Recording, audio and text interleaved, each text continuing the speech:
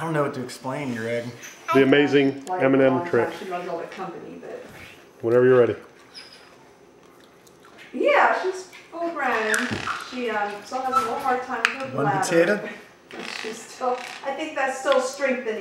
She gets really excited with new people. Ah.